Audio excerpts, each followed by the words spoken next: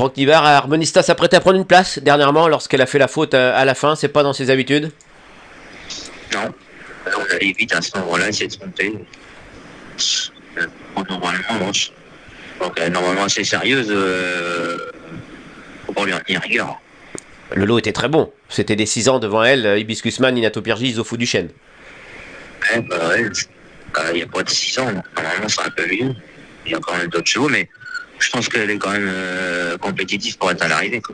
Oui, sa forme n'est pas à mettre en doute. Ah non, non, non, là, je m'aimerais bien. Non, non, elle va bien courir. Et elle fait partie des, des plus rapides sur ce parcours avec euh, 11-8. Ouais, bah, ouais, je pense qu'elle devrait bien faire. Normalement, elle a une chance.